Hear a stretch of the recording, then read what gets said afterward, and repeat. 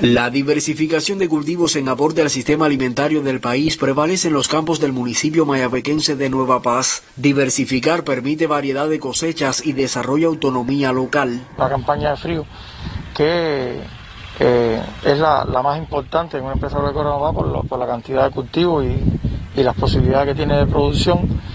Eh, tenemos un grupo de áreas, tenemos más de 85 hectáreas de papa que, que debemos sembrar, así eh, de plátano, malanga, eh, boniato, yuca. El aprovechamiento de suelos cultivables, la mecanización y las tecnologías agrarias contribuyen con la diversidad de cultivos. También, por ejemplo, la, diversificación de la comercialización, de que las personas pueden vender, eh, abrir la frontera y buscar productos de calidad a que puedan ser vendidos en la parte también del turismo y buscar la divisa, que es lo, lo que hace falta para poder obtener un grupo de recursos que hoy el país no se encuentra en condiciones de brindarlo y, no, no, los obtiene y entonces hay que salir a buscarlo a través de estas mismas producciones que, debemos, que debemos buscar. Los productores del municipio mayabequense de Nueva Paz aplican estrategias para abastecer a la localidad y a otros territorios de La Habana.